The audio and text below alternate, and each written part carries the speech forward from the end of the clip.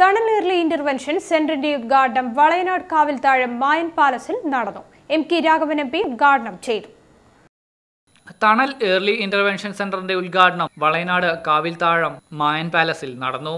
കുട്ടികളുടെ ഭിന്നശേഷി നേരത്തെ കണ്ടെത്തി ഏഴു വയസ്സാകുമ്പോഴേക്കും അവരെ സാധാരണ സ്കൂളിൽ പോകുന്ന രീതിയിലേക്ക് എത്തിക്കാനുള്ള പരിശീലനങ്ങൾ നൽകുക എന്ന ലക്ഷ്യത്തോടെയാണ് തണൽ ഏർലി ഇന്റർവെൻഷൻ സെന്റർ പ്രവർത്തനം ആരംഭിച്ചിരിക്കുന്നത്.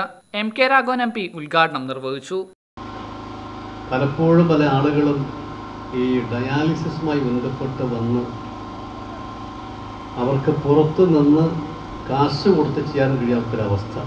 വളരെ പാവപ്പെട്ടത് ഡെയിലി ചെയ്യേണ്ട ആളുകൾ ആഴ്ച രണ്ടോ മൂന്നോ ചെയ്യേണ്ട ആളുകൾ. പുറത്ത് അവർക്ക് വേണ്ടി മറ്റ് സ്ഥാപനങ്ങൾ ശുപാർശ പറയുമ്പോൾ അവിടെയും പരിമിതിയുണ്ട്.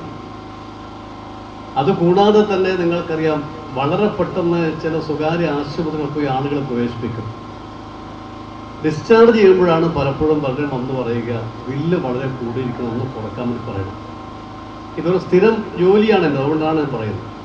അപ്പം നമ്മുടെ ആരോഗ്യരംഗം പാവപ്പെട്ടവർക്കും സാധനക്കാർക്കും ബഹുമാന ഡോക്ടർ അൻവർ ഇതിന്റെ ഭാഗമാണ് അദ്ദേഹം അപ്പോൾ ഇങ്ങനെ ഒരുപാട് സാധാരണക്കാർ നേരിടുന്ന ബുദ്ധിമുട്ടുകൾ പ്രയാസങ്ങൾ അത് പരിഹരിക്കാൻ എനിക്ക് തോന്നുന്നു ഡോക്ടർ ഇദ്രീസ് നേതൃത്വം നൽകുന്ന തണലിന് ഒരു പരിധിവരെ സാധിക്കും എന്നാണ് എന്റെ വിശ്വാസം.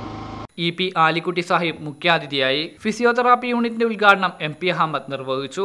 വൊക്കേഷണൽ ട്രെയിനിങ്ങിന്റെ ഉദ്ഘാടനം സി പി കുഞ്ഞിമുഹമ്മദ് നിർവഹിച്ചു. Councillor T P Shemeena Mustafa Haji doctor T C Anwar doctor Bennil Afeeq തുടങ്ങിയവർ സംബന്ധിച്ചു.